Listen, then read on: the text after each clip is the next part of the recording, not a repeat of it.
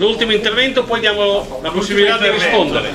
È un onore fare l'ultimo, no? Certo. Non sempre l'ultimo.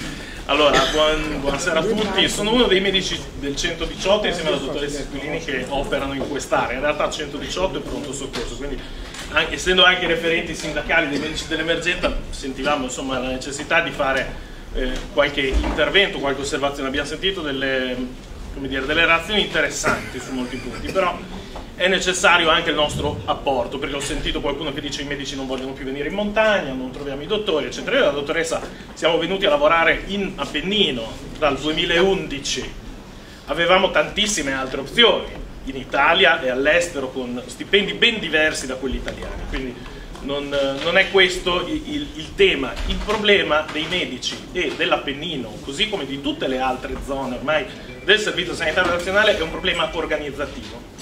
Le condizioni di lavoro sono spesso insostenibili sul lungo termine.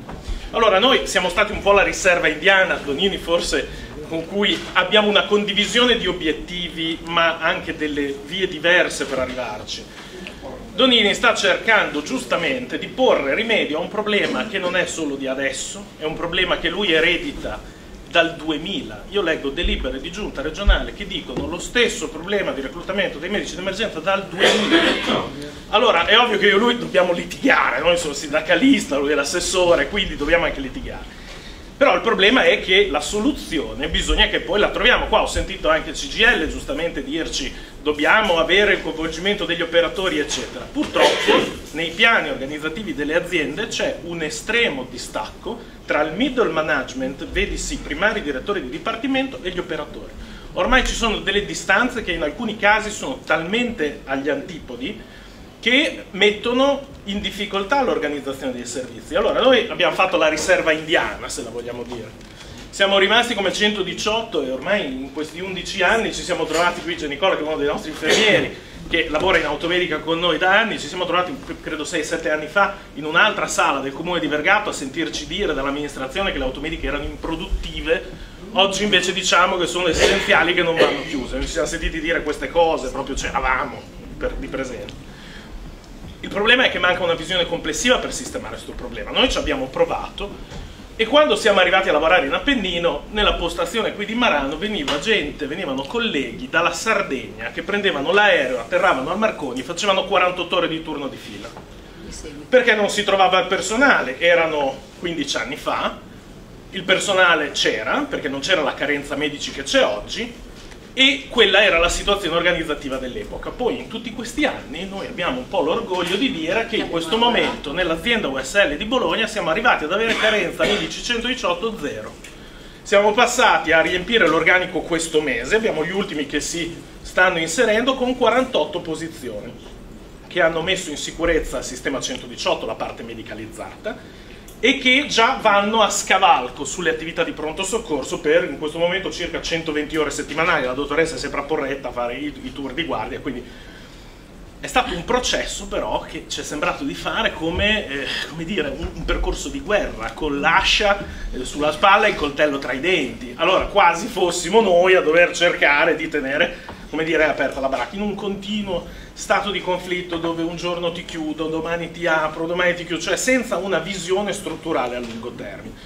Ora la questione CAU, che è una questione sulla quale anche siamo stati coinvolti, ovviamente nei tavoli regionali e dalla quale a un certo punto abbiamo detto no, non ci sono ancora i minimi per arrivare a sottoscrivere quell'intesa che è stata invece sottoscritta con un altro sindacato, è una questione che è complessa e strutturale e ha un suo fondo di logica. Cioè io non dico, la, la logica che ha l'assessore di dividere i flussi è una logica che non è del tutto errata, ma che richiede una complessità e una tempistica e uno sviluppo che noi vediamo leggermente diversa, che però si può in qualche modo arrivare a fare. I flussi dei bianchi e dei verdi che noi oggi abbiamo sentito qui di Vergato, prima guardavo proprio usando l'intelligenza artificiale, chiedevo i dati no, a Google e dicevo dammi i dati dei pronto soccorso. Guardavo Europa, Stati Uniti, eccetera, hanno tutti circa il 90%, 85, 75, dipende un po' dal paese di bianchi e verdi che arrivano nelle strutture di pronto soccorso. Quindi non è un problema che ha Vergato, non è un problema che ha Porretta, ce l'hanno tutti gli ospedali, ma La cosa che da noi è diversa in Italia è che i medici scappano da tutti gli ospedali, non da Vergato, scappano da Sant'Orso, abbiamo avuto una, un picco di dimissioni enormi dal Sant'Orso. E questo per due motivi.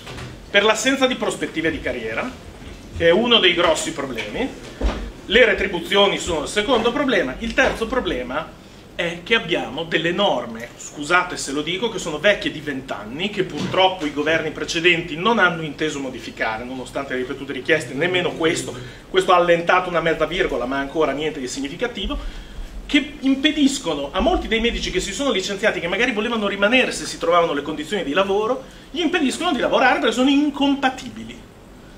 E su questa cosa ci siamo confrontati molte volte. Noi abbiamo delle incompatibilità, per cui se un medico sta studiando una seconda specializzazione gli viene vietato di lavorare, pena l'espulsione dal percorso di formazione. Allora, solo in Italia una demenzialità di questo tipo non è stata corretta dal 99. Okay? Quindi noi diciamo che non abbiamo i dottori, in realtà che cosa è successo? Ve lo dico chiaramente perché bisogna che i cittadini a un certo punto lo sappiano Speranza durante il Covid ha aperto ovviamente tutti i posti di specialità, 17.000, e qual era l'unica differenza rispetto alle delibere del 2000 in cui si diceva non trovo i dottori di emergenza? Che tutti quelli che lavoravano senza la specializzazione sono andati a fare la specializzazione e sono diventati dalla sera alla mattina incompatibili. E quindi, e quindi tranne le deroghe Covid che sono intervenute durante il Covid, l'ultima deroga che c'è scade il 31-12 che sarà l'ennesimo capestro. Se non viene prorogata l'ennesima deroga o se non viene cambiata la normativa. Ora, i dottori in numero assoluto ci sarebbero pure, se si costruiscono dei modelli organizzativi come quello che abbiamo trovato noi, cioè noi abbiamo dottori che vanno da Budrio a Porretta a, e che coprono tutto e che hanno il loro orario, chi, più, chi pieno, chi part time, eccetera, eccetera, con, una, con un meccanismo che ne ha fatti arrivare 48 e abbiamo carenza zero. Forse lo possiamo applicare questo modello anche ad altri settori, magari anche integrandolo con l'avvento del CAU, però questi sono processi che richiedono tempo e che richiedono un'attenzione che ad oggi purtroppo ancora, sia a livello centrale di governo, sia a livello regionale, non si riesce ad avere. Chiudo qui l'intervento. Grazie.